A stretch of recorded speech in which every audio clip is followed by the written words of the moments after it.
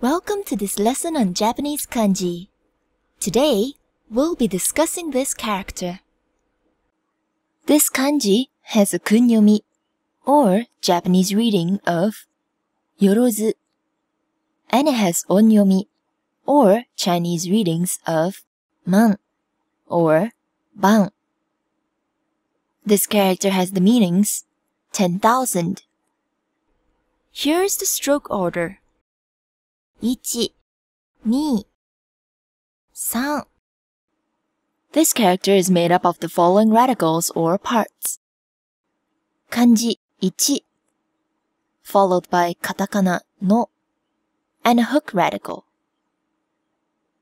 You can remember this kanji by the following hint. The Central Asian glyph for 10,000, implying eternity. Our example sentence is 10万円です. It is 100,000 yen. We hope you have enjoyed this quick kanji lesson. Maybe you'll like some of our others.